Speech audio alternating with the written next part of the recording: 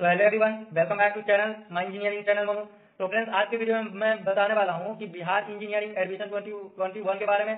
तो फ्रेंड्स क्या जय मेरे वाले का लास्ट डेट पाँच सितंबर है? क्या सही है, क्या गलत है? तो फ्रेंड्स काउंसलिंग कब शुरू होगी। ये सब मैं इस वीडियो में बताने वाला हूँ। तो इस वीडियो को पूरा देख सारा डाउट क्लियर हो जाएगा। तो फ्रेंड्स आपको बता दें कि एडमिशन का जो प्रोसेस है, इसमें थोड़े बदलाव किए गए हैं और इस बार से एडमिशन आपको जेई मेन के थ्रू ही होगा और एडमिशन आपको बीसीसी बोर्ड के टीसीएम ग्रुप के एग्ज़ाम जो होता है, उसके थ्रू होगा। तो फ्रेंड्स दोनों स्टूडेंट एलिजिबल होंगे एडमिशन के लिए। तो फ्रेंड्स बात है कि पहले किसको एडमिशन मिलेगा और उनके बाद किसको मिलेगा, कैसे होगा?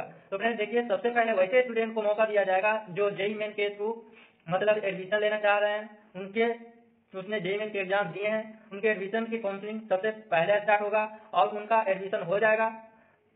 उनके बाद अगर सीट बचती है तो बीसीसी के जो एग्ज़ाम दिए हैं पीसीएम ग्रुप से, वो स्टूडेंट पार्टिसिपेट करके एडमिशन इंजीनियरिंग में एडमिशन करा सकते हैं। इतना क्लियर है कि पहले जेई मेन के जो, जेई मेन के थ्रू एडमिशन होगा और उनके बाद अगर सीट बचती है तो बीसीसी बोर्ड से जो एग्ज़ाम होता है, यानी पीसीएम ग्रुप के, उसके थ्रू एडमिशन होगा।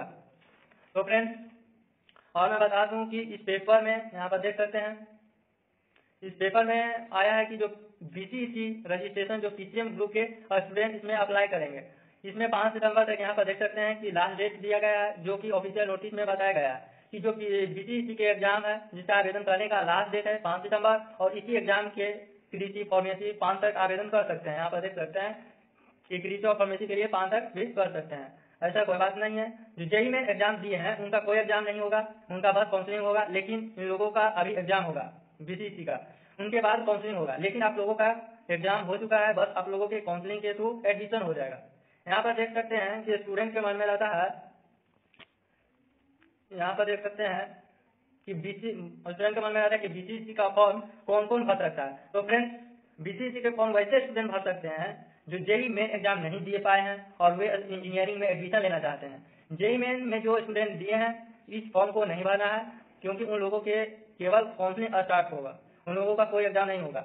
ये एग्ज़ाम के फॉर्म है, जो फॉर्म वैसे स्टूडेंट भरेंगे, जो जेई मेन के एग्ज़ाम नहीं दिए हैं, और वो इंजीनियरिंग में एडमिशन लेना चाहते हैं। और फ्रेंड्स और जो स्टूडेंट के मन में चल रहा है कि जो जेई में लेने वाले स्टूडेंट कौन फॉर्म भरेंगे कि जेई मेन देने वाले कौन फॉर्म भरेंगे? तो फ्रेंड्स जो जेई मेन एग्ज़ाम दिए हैं, उनके लिए यूजीएससी 2021 के नाम से रजिस्ट्रेशन फॉर्म आएगा।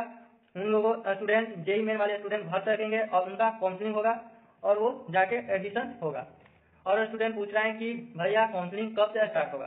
तो फ्रेंड्स काउंसलिंग लगभग सितंबर लास्ट वीक तक या October first online form registration form start हो जाएगा। यानी लगभग आप लोग भी जानते हैं कि जेई के जो एडवांस रिज़ल्ट आ जाएगा, उसके बाद यूजीएससी काउंसलिंग बिहार इंजीनियरिंग में काउंसलिंग स्टार्ट हो जाएगा। तो फ्रेंड्स आप लोग को अभी कंफ्यूज नहीं रहना है। जो जेई मेन के एग्ज़ाम दिए हैं, उनके उनके किसी तरह का फॉर्म भरने का ज़रूरत नहीं है। और जो बीसीसी के थ्रू जो इंजीनियरिंग करना चाहते हैं, जो इस फॉर्म को भर सकते हैं।